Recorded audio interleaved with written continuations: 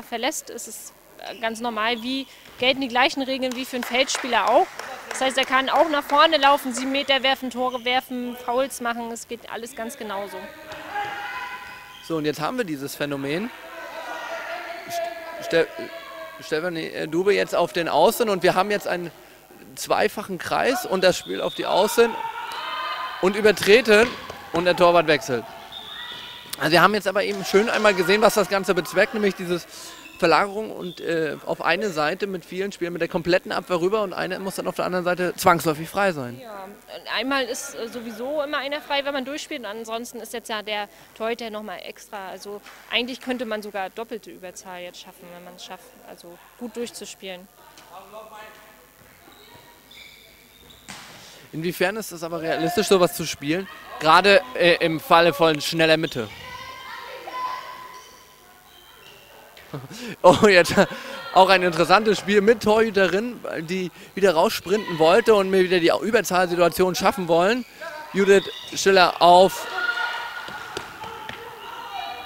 äh, Lena Besenhardt und jetzt der lange Wurf, der geht am Tor vorbei. Sorgt doch für große Erheiterung hier an der Schweriner Bank, wo man es jetzt mal etwas probiert.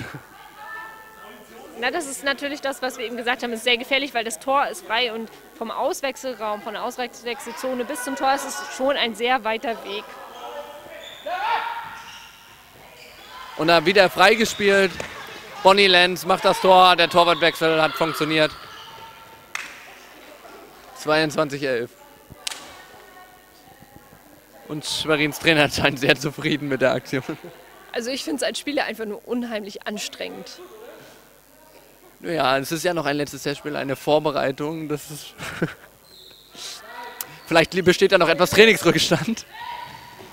Es ist ähm, zum Probieren ist es natürlich die richtige Situation, aber ansonsten ist es natürlich nur eine Variante in engen Spielen, wo es dann, sagen wir mal, in der letzten Minute nochmal wichtig ist, dieses Tor zu machen.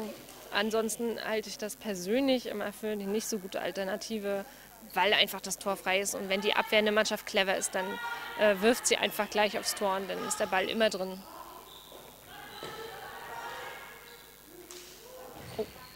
Oh, jetzt ist der Ball durchgerutscht.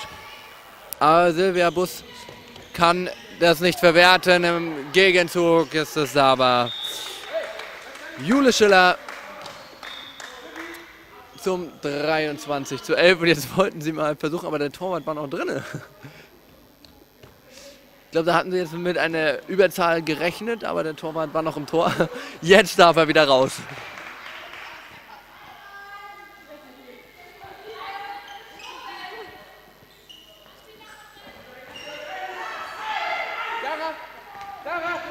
Jetzt sehen wir, Schwerin spielt jetzt mit äh, doppeltem Kreis. Man hat jetzt quasi die Doppelkreissituation plus die Überzahlsituation. Und jetzt ist das Tor leer. Jetzt ist das Tor leer. Und er ist drin. Das ist, äh, Katja Lorenz hat jetzt gerade das ausgenutzt, was du gerade angesprochen hast. Das Tor ist leer und wirft einfach rein. Genau, es hat zwar etwas länger gedauert, als ich gedacht ich hätte gleich von hinten geworfen, aber so geht es natürlich auch. Und damit ist das Experiment beendet. Äh, ich würde sagen, 2 zu 1 noch relativ erfolgreich. Und jetzt gibt es aber 7 Meter für Grünberg Schwerin. Vom Torwurf abgehalten. Und jetzt äh, Stefanie Dube in Personalunion von außen, halb, Torwart und jetzt zum 7-Meter-Punkt.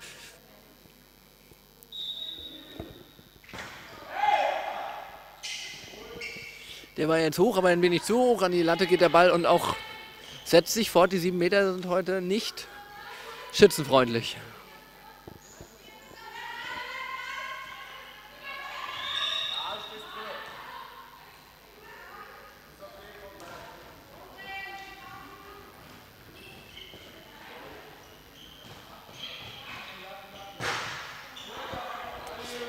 Du sagtest, du hast in der Jugend im Tor gestanden. Warst du eher ein 7 Meter Killer oder sind die bei dir eher reingefallen?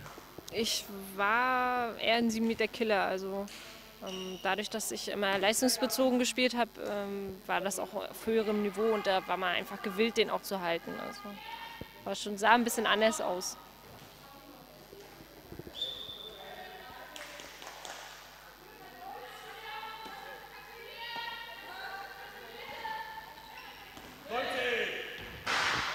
Das war jetzt mal eine schöne Finte von Cindy Wagner. Für mich persönlich äh, roch das nach vielen Schritten. Wenn der Schiedsrichter 15 Schritte. Ne? Das ist eine klare Ansage. Jule Schiller jetzt mit dem äh, mit dem Tor für Grünwald Springen. Das hat man kurz auch äh, Cindy Wagner durchs Bild fliegen sehen. Ja, interessant aus, ja. ähm, falsche Intuition, oder? Ja, sowas in der Art. Ja, manchmal klappt es ja auch, ne? dann sieht es gut aus, aber ansonsten ist immer etwas komisch, ja.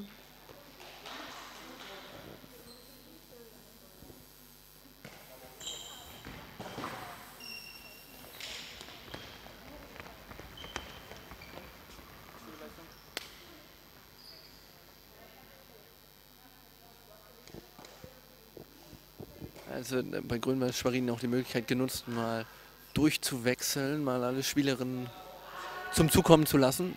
Bei dem Spielstand auch kein Problem. 24 zu 11, der Resender Meißner vergisst da den Ball, lässt ihn bei der Gegenspielerin.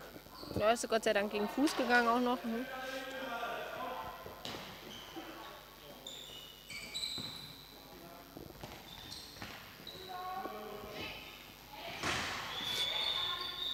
Und jetzt gibt es äh, zwei Minuten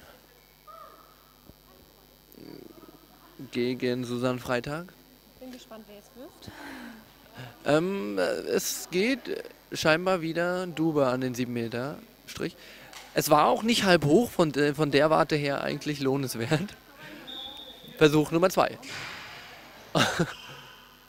so, der dritte Versuch ist dann drin, der erste an die Latte, der zweite an den Pfosten und der Nachwurf ist dann drin. Dann weiß man jetzt auch, wie groß das Tor ist. Das ist auch sehr praktisch. So, und jetzt haben wir gleich den nächsten Versuch eines Torwarts. Wir sind sehr gespannt. Könnt ihr gleich mal fragen, äh, könnt, könnten ja vom Prinzip her fast gleich mal fragen. Jetzt aber der Konterlauf, Schiller, Tor, sicher abgelaufen. Gleich mal die Frage, äh, Katrin, schon mal Torwart gespielt? Als Torwart? Nein, noch nie. Es wird also gleich äh, Premiere. Hier Grün-Weiß Schwerin versucht es also erneut mit einem außen spielenden Torwart. Aber wie wenn nicht in einem Testspiel, soll man das mal probieren, mal gucken, was möglich ist. Oh, das war schön gestellt und der Ball über die Hände drüber. Cindy Wagner mit dem 26 zu 14. Und jetzt haben wir wieder, schauen wir wieder drauf, das Verhältnis 7 gegen 6 Feldspieler.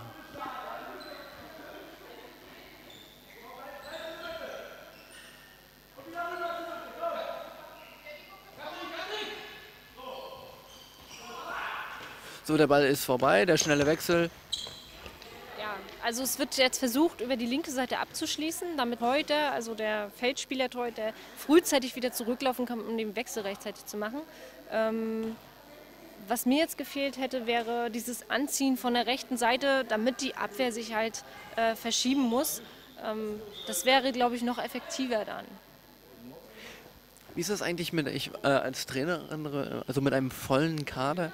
Äh, man kann ja nicht immer mit allen spielen, letztendlich muss man in der Saison äh, natürlich erfolgsorientiert spielen. Wie hält man die Spielerinnen, die nicht so oft spielen, bei Laune? Ja, das ist schwierig. Äh, man versucht dann natürlich, wenn der, wenn der Spielstand es zulässt, ähm, etwas schwächere Spieler dann gut einzusetzen oder sie auch ähm, im Training ein bisschen mehr zu fordern, dass sie etwas aus sich rausgehen, dass man nicht das Gefühl hat, man überfordert sie im Spiel. Es ist ansonsten aber ziemlich schwierig und äh, vielen Trainern gelingt die Balance auch nicht. Das muss man auch ganz deutlich so sagen.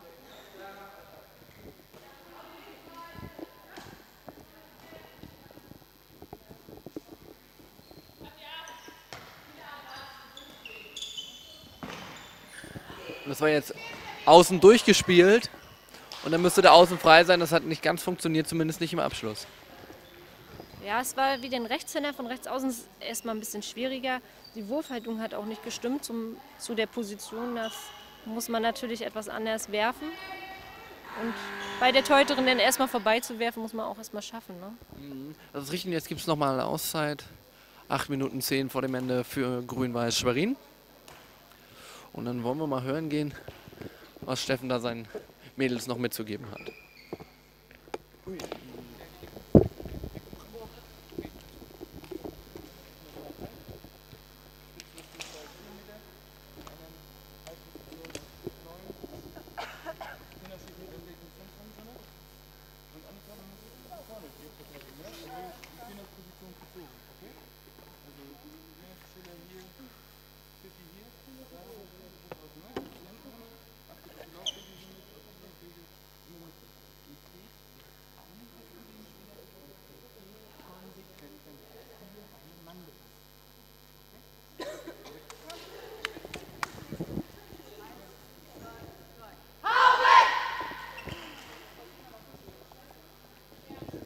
dann konnten wir jetzt mal ein wenig mit reinhören.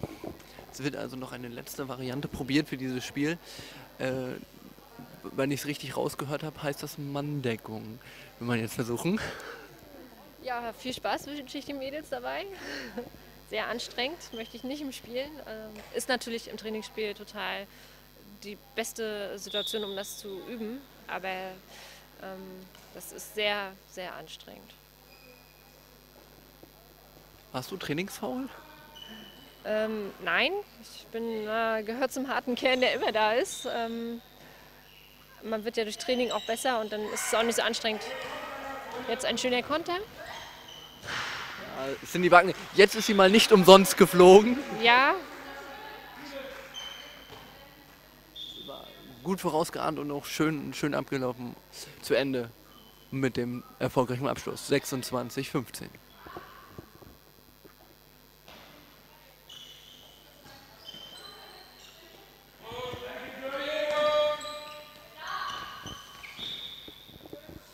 Ja, da ist das dann eine Lücke? Sie, sie hat jetzt nur durchgestochen, blieb ein bisschen hängen.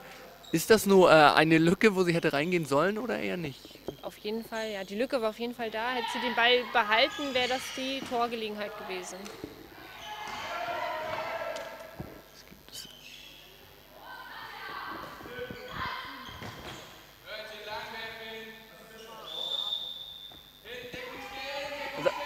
Trainer sagt gerade äh, zur Spielerin, sie soll lang werfen. Was heißt das?